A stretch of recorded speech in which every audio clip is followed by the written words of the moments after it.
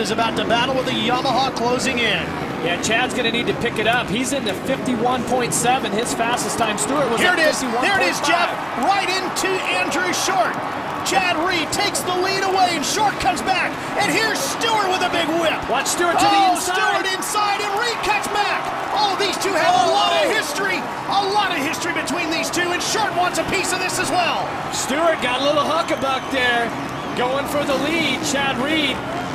James, it's RC. Dude, that was a spectacular pass you put on those guys. I mean, before you know, you passed two guys and you were in the, you were in the lead. Tell us about it. I mean, what happened? They had the two for one special going on out there. So, uh, no, I just tried to, to get it, but uh, you know, I had my chance. You know, Chad got in on Andrew right there, and I knew I had a good opportunity to try to do it, and uh, it was good. You know, I, when you're in the back, you know, you're just trying to stay up for the first few laps, and then uh, I don't know what happened to Chad. I guess he watched the front end out. So it's gonna be a tough main event. We just uh, need to keep continuing to get better.